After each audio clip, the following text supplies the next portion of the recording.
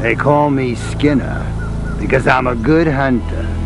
When I see something I want, I track it down, I catch it, I skin it, and I eat it. Try my mulligan stew.